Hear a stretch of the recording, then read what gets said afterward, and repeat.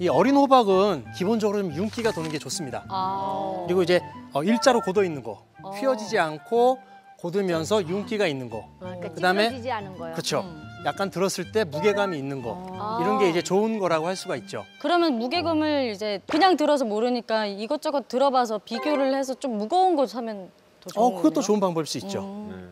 그리고 또 이게 어, 숙성이 덜 된 호박으로 껍질과 속살 모두 연해서 어, 흠집이 있는지 잘 살펴보시고 흠집이 없는 걸 고르시는 게 좋습니다. 오.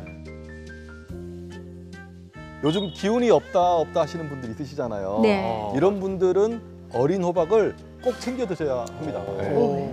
이 어린 호박에는 비타민 C랑 포도당이 풍부해서요. 빠르게 에너지를 충전시켜서 기력을 회복하는 데 정말 딱이거든요. 그리고 이 어린 호박은 네. 늙은 호박에 비해서 목기가 강하다라고 표현을 하는데요. 기? 목기, 나무 목자를 쓰는 네네. 네, 목기는 그 대나무 죽순처럼 위로 곱게 빡 올라가는 그런 기운, 음. 혹은 성장하는 기운을 얘기한다라고 생각하시면 될 것 같은데요. 오. 그래서 눈빛에 힘이 없고 네. 그다음에 자주 멍 때리면서 어. 기운이 없다라고 하시는 분들에게 강력하게 제가 추천해드리고 싶습니다. 무슨 이런 눈빛으로.